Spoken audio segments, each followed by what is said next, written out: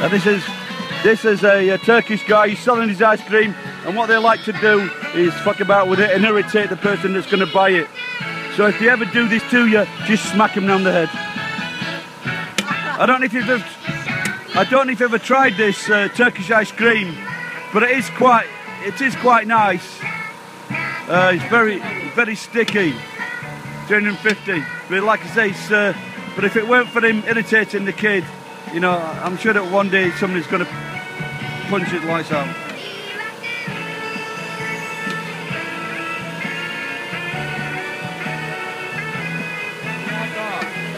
Se, Yatto. hey.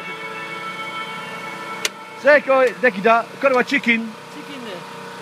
So this is that like I thought it was chicken, but it does look uh, looks quite nice. But I'm not going to have one because I'm going to go to Sukiya. It's a third of the price. Bye bye.